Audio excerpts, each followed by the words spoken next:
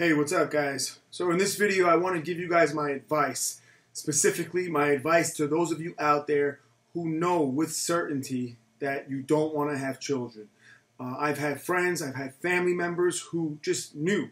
You know, my own brother feels that way. He knew. He never wanted to have children and that's his thing. I was on the opposite end of the spectrum. Since I was very young, I always thought that, you know, not only did I want children, but I felt like children would give me a purpose in life. And that's really what my purpose was, is to have, you know, or to create with my wife another generation. And that's the reason I continue to live, is to support them and protect them and to teach them and instill proper values in them and enjoy our time together.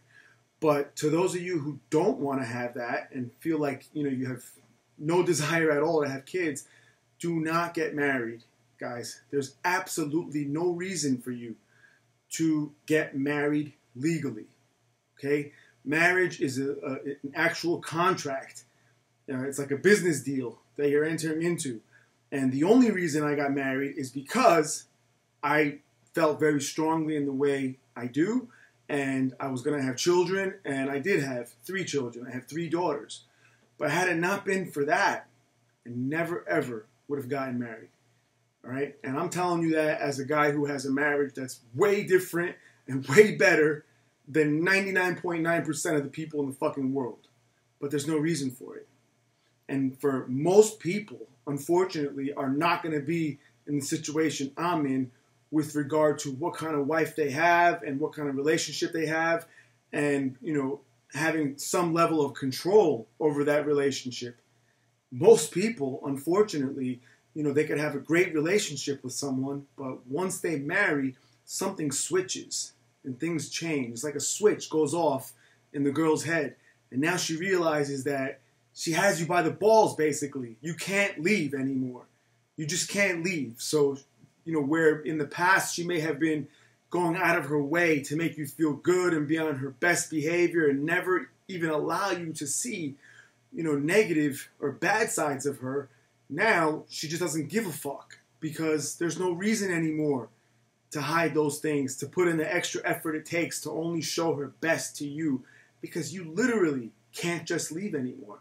You could, and she'll say, fine, get the fuck out, and it'll cost you almost everything that you have, everything that you've worked so hard for in life.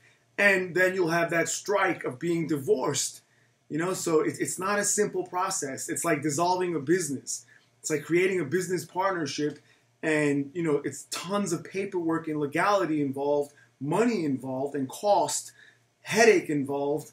You, you can't just walk away from it. Whereas if you're not married, if you hadn't signed that contract, nobody could ever hold any kind of weight over your head like that. Nobody could ever have that kind of power over you.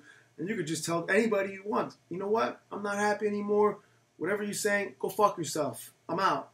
And you move on. And just like that, literally, from one day to the next, you, you've, you've changed your entire life circumstance now. Now you can do whatever you want. So, again, guys, if you want to have children, I respect the sanctity of marriage. I respect family. I believe that family is the most important thing as far as what we can do to better our society and stop this downward spiral that we're on as far as people one generation to the next getting worse and worse and people having no morals and being fucking all about themselves and being pieces of shit.